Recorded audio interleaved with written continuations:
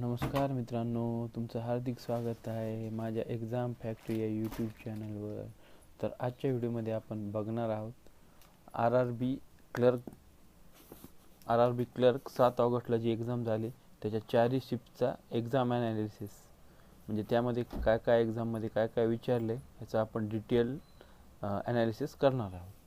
तर मग सुरू करूयात. एक्झ मी तुम्हाला बेसिक गोष्ट सांगतो एक्झामची आर आर बी क्लर्कची एक्झाम ही ऐंशी मार्कची असते.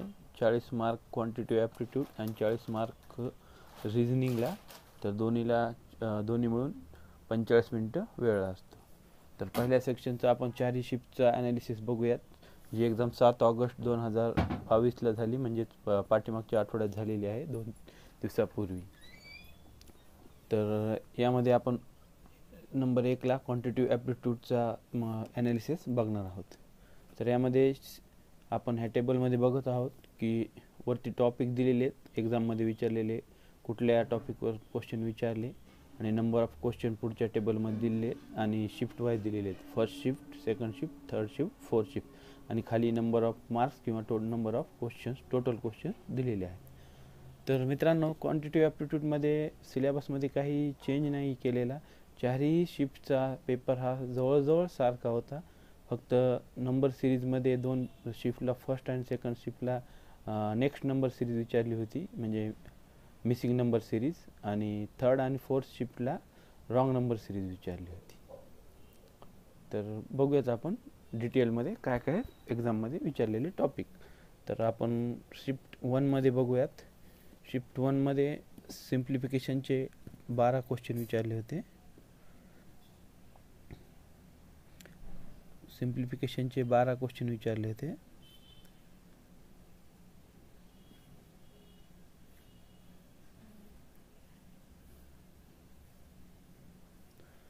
तर नंबर सिरीजचे पाच डी आय दहा म्हणजे दोन डी आय विचारले होते पाच पाच क्वेश्चनसाठी आणि आरिथमॅटिक दहा क्वेश्चन्स आणि केसलेट डी आयचे तीन क्वेश्चन असे मिळून एकूण मिळून चाळीस क्वेश्चन विचारले होते.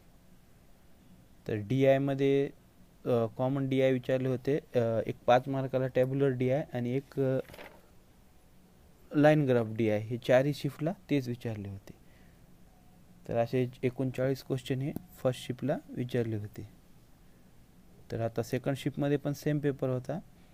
सिम्प्लिफिकेशन बारा क्वेश्चन नंबर सिरीज पाच क्वेश्चन मिसिंग नंबर सिरीज होती ही. त्यानंतर डी आय दोन म्हणजे दहा मार्काला पाच पाच मार्काला एक अरिथमॅटिक क्वेश्चन दहा आणि केसलेट पण तीन. तर असे टोटल चाळीस क्वेश्चन म्हणजे फर्स्ट आणि सेकंड शिफ्ट एक्झॅक्ट सेम होती. आणि थर्ड आणि फोर्थमध्ये थोडे चेंजेस होते.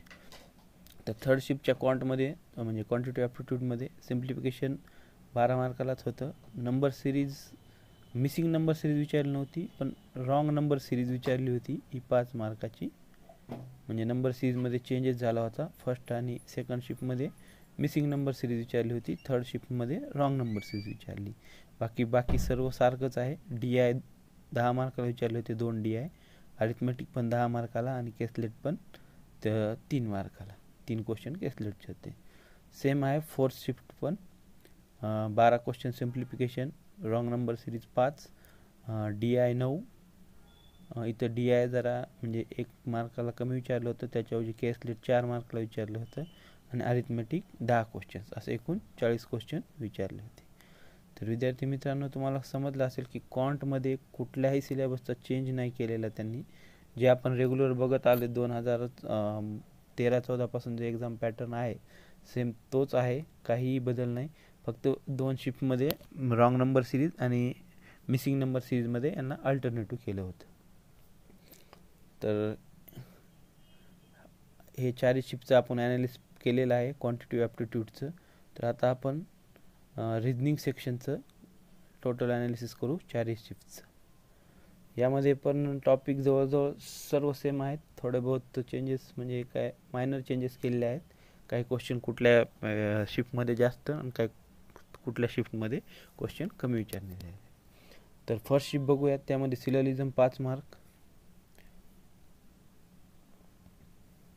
सिलॉलिझम सिलोलिझम पाच मार्काला इनइक्वलिटी पाच मार्क पझल वीस मार्क अल्फा न्यूमरिक सिरीज पाच मार्क डायरेक्शन आणि डिस्टन्सचा एक क्वेश्चन आणि मिसलेनियसचे चार. मिसलेस लेनिसमध्ये ब्लड रिलेशन किंवा वर्ड फॉर्म म्हणून आपण मिनिंगफुल वर्ड फॉर्म असं पण म्हणू शकतो.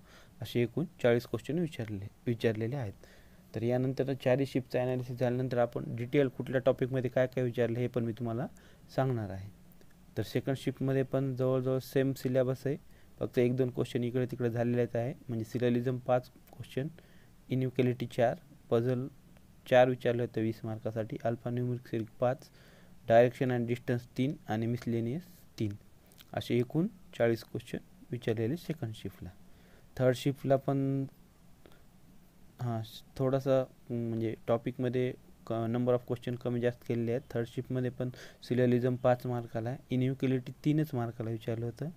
पझल वीस मार्क चार पझल अल्फा सिरीज चार मार्काला डायरेक्शन आणि डिस्टन्स दोन मार्काला आणि मिसलेनिस इथं सहा मार्काला विचारलं होतं. म्हणजे सहा क्वेश्चन विचारले होते. असे एकूण चाळीस क्वेश्चन विचारले होते.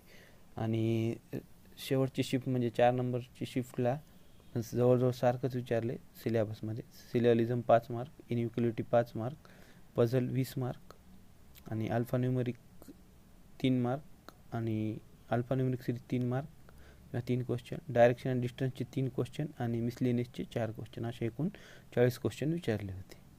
तर विद्यार्थी मित्रांनो आपण बघूयात की बाबा पेपरचे म्हणजे लेवल कशी होती आणि किती अटेम्प्ट करायला पाहिजे होते साधारण?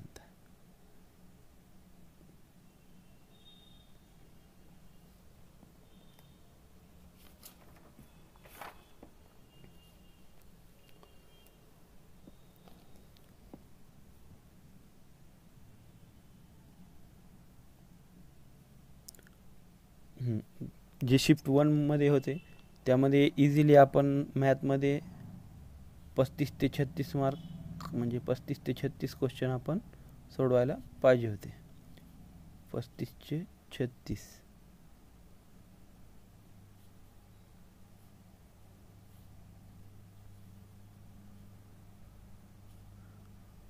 पस्तीस आणि रिजनिंगचे जवळजवळ सदोतीस ते अडतीस क्वेश्चन सोडायला पाहिजे होते. म्हणजे सेफ अटेम्प्ट आहे तुमचा फर्स्टसाठी seventy two to seventy four first शिफ्टसाठी second शिफ्टसाठी तसंच बघूयात. पस्तीस ते छत्तीस मार्क मॅथ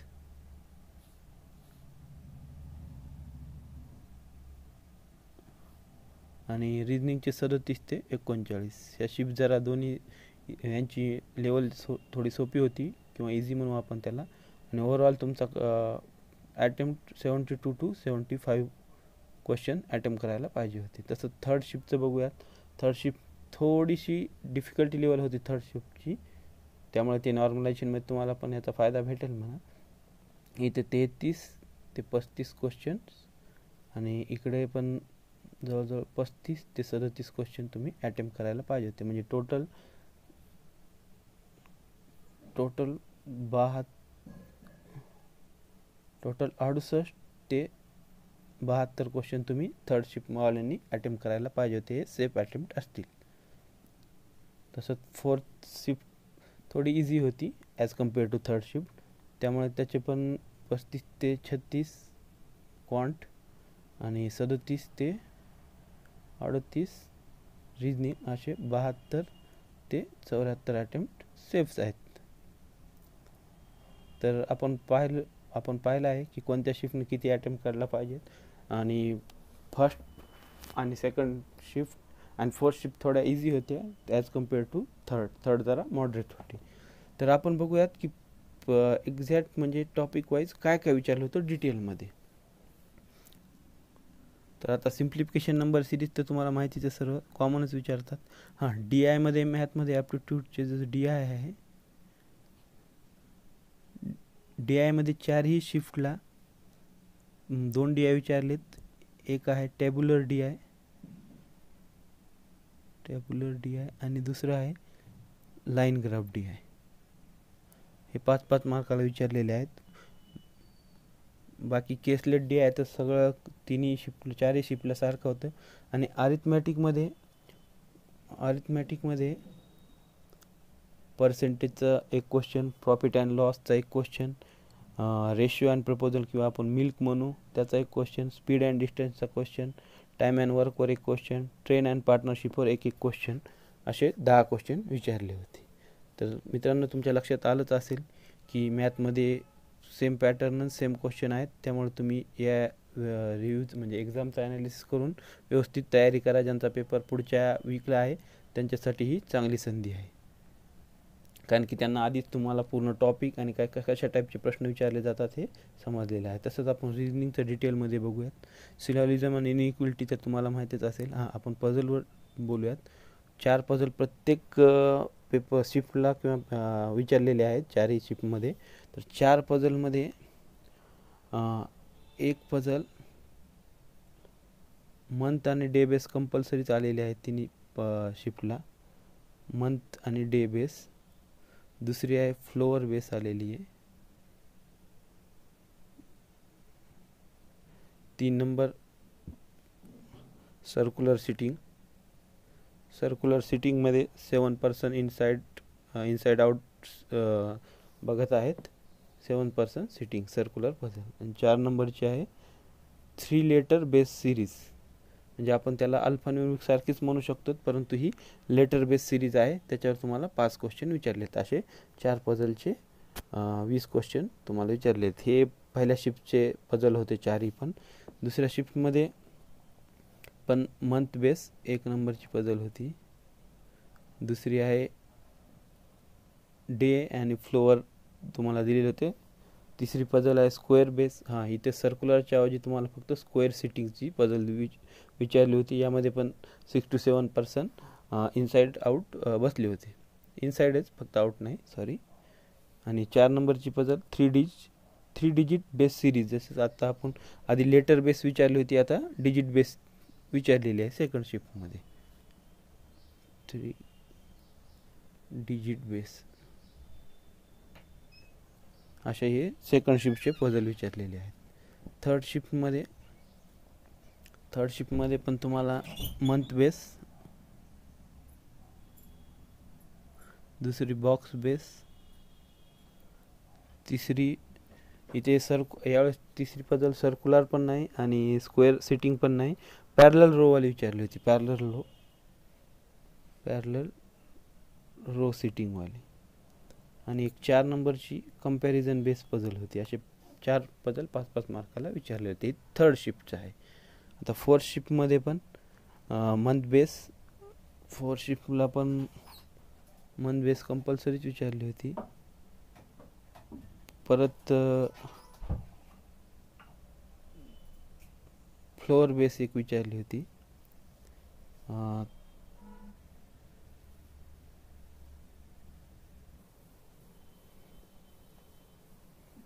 तर मित्रांनो आपण फोर्थ शिफ्टच्या पझल बघत होतो. त्यामध्ये फर्स्ट सांगितलं तुम्हाला मंथ बेस दुसरी फ्लोअर बेसलाच होती. आणि थर्ड नंबरची पजल ही सर्क्युलर सिटिंग आणि फोर्थ नंबरची पजल ही लेटर बेस सिरीज अशी. चारही पजल फोर शिफ्टला अशा विचारल्या होत्या. तर आपण पाहिलेले आहे. आणि मिसलेनियसमध्ये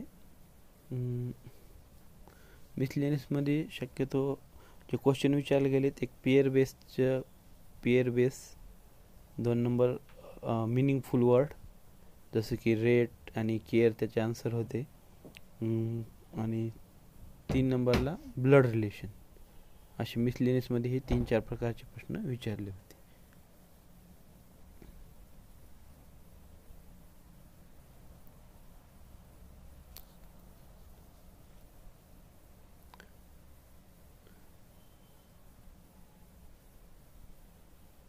तर मित्रांनो हा आपण पूर्ण ॲनालिसिस केलेला आहे. सात ऑगस्टला आर आर बी क्लर्क दोन हजार बावीसची जी एक्झाम झाली त्या चारही शिफ्टचा डिटेल ॲनालिसिस आपण पाहिलेला आहे.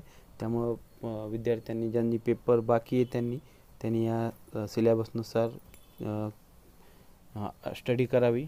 आणि ज्यांचा पेपर झाला आहे ज्यांनी चांगले अटेम्प्ट केले आहेत अबव सेवन्टी त्यांचं हार्टली कॉंग्रॅच्युलेशन्स आणि त्यांनी त्यांनी मेन्सच्या एक्झामसाठी तयारीला लागावं. आणि ज्यांच्या ज्या विद्यार्थ्यांचे चुकून पेपर म्हणजे कमी अटेम्प्ट झालेले आहेत की अभ्यास करूनही तर त्यांनी पॅनिक न होता नेक्स्ट एक्झाम जसंच R R B P O आहे बाकी I B P S clerk आहे I B P S P O आहे अशा बऱ्याच एक्झामची सुरुवात झालेली आहे. त्यामुळे पॅनिक न होता पुढच्या एक्झामच्या तयारीसाठी लागावं. तर मित्रांनो मी बरेच जणांच्या कमेंट वाचून किंवा म्हणजे त्यांच्यासोबत चर्चा करून मला असं जाणवलं आहे की बऱ्याच जणांचा पेपर थोडा टफच झाला आहे त्यांनी सेवन्टीच्या अबाव अटेम्प्ट नाही केलेले. तर त्याच संदर्भात मी तुम्हाला थोडं गायडन्स करतो की पेपर कसा अटेम्प्ट करायचा आहे आर आर बी क्लर्कचा कुठलाही पेपर अटेम्प्ट करताना इझिली तुम्ही सेवन्टी प्लस अटेम्प्ट करायलाच पाहिजेत असं माझं पर्सनल मत आहे. कारण की सध्या कॉम्पिटिशन भरपूर वाढलेलं आहे. आणि हे सत्तर प्लस अटेम्प्ट कसे करायचे कुठलाही हे हे न करता तर ते मी तुम्हाला दोन मिनटात सांगतो. मित्रांनो हे बघा आता आपण चारी टॉपिक बघितलेला आहे. रिजनिंगचा पण आणि क्वांटिटिव्ह ॲप्टिट्यूडचा पण. त्यामध्ये सिलेबसमध्ये कुठलाही चेंजेस नाही. त्यामुळे स्ट्रॅटर्जी तुम्ही बनवा आणि ती एक्झाममध्ये फॉलो करा. म्हणजे तुमचा बरोबर सेवन्टीच्या अबाऊच अटेम्प्ट होतील क्वेश्चन तर आता आपण क्वांटमध्ये बघूयात. सर्वात इझिली म्हणजे सिम्प्लिफिकेशन सिरीज हे सतरा क्वेश्चन तुम्ही आरामशीर कमी वेळात सोडवू शकतात. डी आयचे दहा क्वेश्चन सोडू शकतात सतरा दहा सत्तावीस क्वेश्चन इथंच झाले. तर त्यानंतर अरिथमॅटिक आणि केसलेट डी आय आता जर अरिथमॅटिकमध्ये दहापैकी जवळजवळ पाच ते सहा क्वेश्चन फार इझी असतात जसं की पर्सेंटेज सिम्प्लिफिके पर्सेंटेज म्हणा एस आय सी आय म्हणा किंवा ट्रेनचा प्रॉब्लेम म्हणा किंवा पार्टनरशिपचा प्रॉब्लेम म्हणा यामध्ये दहापैकी जवळजवळ सहा ते सात क्वेश्चन फार इझी असतात. तर तुम्हाला जर फक्त वाचून दोन मिनटात म्हणजे क्वेश्चन बघितल्यानंतर जर समजत असेल तर त्याला अटेम्प्ट करा. नाहीतर नेक्स्ट करा. म्हणजे दहापैकी अरिथमेटिकमध्ये तुम्ही कमी पाच सहा क्वेश्चन जरी लवकर सोडले आणि बाकीचे स्किप करत गेलात तरीही काही अडचण नाही आहे तुमचं ते सत्तावीस आणि हे सहा बत्तीस ते तेहतीस क्वेश्चन इझिली अटेम्प्ट होतात. केसलेट किंवा जे अरिथमेटिकचे दोन तीन हार्ड प्रॉब्लेम आहेत ते स्किप करा आणि नेक्स्ट याला नेक्स्ट सेक्शनला तुम्ही सुरुवात करू शकता. आणि आणखी एक यामध्ये सांगायचं म्हणजे काय एखादा प्रॉब्लेमचं जर आन्सर समज तुम्ही दोन मिनिट देऊन एखादा क्वेश्चन सॉल्व केला अर्थमॅटिकचा त्यामध्ये पाच ऑप्शन दिलेले आहेत. त्यामध्ये कधी कधी एक्झामिनर जाणून बुजून विद्यार्थ्यांचा वेळ वाया घालण्यासाठी ॲक्युरेट आन्सर दिलेलं नसतं तिथं.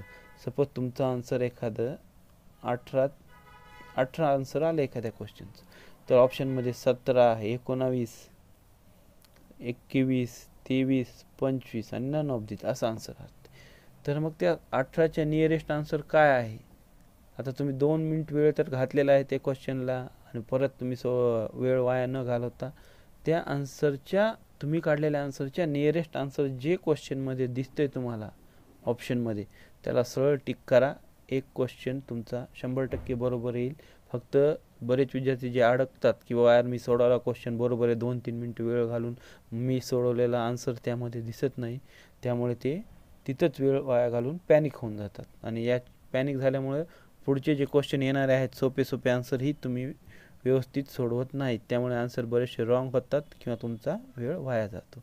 त्यामुळे असे क्वेश्चनला सरळ सरळ स्किप करा किंवा नाही तर तुम्ही वेळ घातला आहे आन्सर आलं आहे तर त्याच्या नियरेस्ट आन्सर तुमच्या ऑप्शनमध्ये जे दिसते त्याला टिक करून नेक्स्ट सॉल्व तर विद्यार्थी मित्रांनो असं जर आपण वीस एकवीस मिनटं जर वेळ दिला तर तेहतीस ते चौतीस क्वेश्चन आरामशीर तुमचे क्वांटमध्ये सॉल्व होतात. आणि आता रिजनिंगचं बघूयात. रिजनिंगमध्ये पण सिलॉलिझम इनइक्वलिटी पझल लास्ट सुरुवातीला हात नका घालू. Syllogism inequality alphanumeric series direction sense आणि मिसलेनियस हे पाच आणि पाच दहा पाच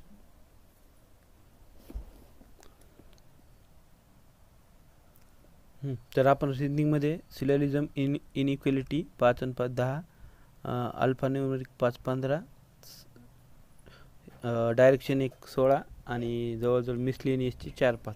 तर असे वीस मार्कचे तुमचे अदर टॉपिकमध्ये आरामशीर लवकर कमी वेळात क्वेश्चन सॉल्व होतात. त्यानंतर पझलमध्ये बघा. पझलमध्ये सगळ्यात इझी पझल जे सर्क्युलर सिटिंग किंवा पॅरलल सिटिंग किंवा स्क्वेअर बेस सिटिंग ते एक पझल त्यानंतर फ्लोअर बेस किंवा आपण मंथ बेस पण म्हणतो त्याला ती पण पदल आपण सॉल्व करू शकतात. असे आणि आणखी कुठले अल्फा जी डिजिट बेस किंवा लेटर बेस जी पजल आहे अल्फान्युरिक सारखीच त्याचे पण पाच क्वेश्चन फार इझी असतात. म्हणजे जवळजवळ हे वीस तीन पजल जवळ पस्तीस पस्तीस आणि आणि पझलला जर वेळ तर तर आणखी एक ती पझल राहिलेली पण तुम्ही सोडवू शकतात. म्हणजे कमीत कमी पस्तीस ते चाळीस मार्क म्हणजे रिजनिंगचा फुल पेपर अटेम्प्ट करणं तुम्ही इझिली करू शकतात. मॅथमध्ये जरी वेळ लागत असला तरी तुम्ही रिजनिंगला वेळ लागत नाही. त्यामुळे तुम्ही पस्तीस ते चाळीस रिजनिंग आणि बत्तीस ते पस्तीस मॅथचे असे जरी पेपर सोडवला तरी तुमचा जवळजवळ seventy above seventy five paper हे अटेम्प्ट होईल. सेवन्टी फोर सेवन्टी थ्री आपण आरामशीर सोडू शकतो. आणि जर वेळ भेटला तर त्यानंतर तुम्ही राहिलेले जे अरिथमॅटिकचे प्रॉब्लेम आहेत ते सोडू शकतात किंवा केसलेटला पण हात लावू शकता एखादा क्वेश्चन जर येत नसेल तर सरळ स्किप करा आणि नेक्स्ट क्वेश्चन सॉल्व करा. आणि शेवटच्या क्षणापर्यंत पॅनिक होऊ नका. पेपर म्हणजे अभ्यास तर सर्वांनीच केलेला असतो, परंतु तिथं बरेच जण घाबरून जातात. घाबरण्यासारखं काहीही नसतं. कारण की एखादा क्वेश्चन जरी अवघड किंवा हार्ड वाटला, तर त्याला स्किप करा. नेक्स्ट पे नेक्स्ट क्वेश्चन हा इझीच असतो. आणि ह्या चाळीसपैकी जवळजवळ फक्त तीन ते चार क्वेश्चन दोन्ही रिजनिंग आणि मॅथमध्ये फक्त हार्ड आहेत. क्लरिकल लेवल असल्यामुळे तुम्ही इझी विदाऊट पेन पेन्सिल वापरता तुम्ही पण क्वेश्चन सॉल्व करू शकतात म्हणजे तुम्हाला क्लर्कसाठी एनी हाऊ सेवन्टी अबव सेवन्टीच्या पुढेच अटेम्प्ट करावा पेपर त्यामुळे तुमचा म्हणजे जवळजवळ मेन्ससाठी तुम्ही आरामशीर क्वालिफाय होऊ शकतात. तर विद्यार्थी मित्रांनो जर तुम्हाला आमचा व्हिडिओ आवडला असेल तर चॅनलला सबस्क्राईब करा व्हिडिओला लाईक करा. धन्यवाद.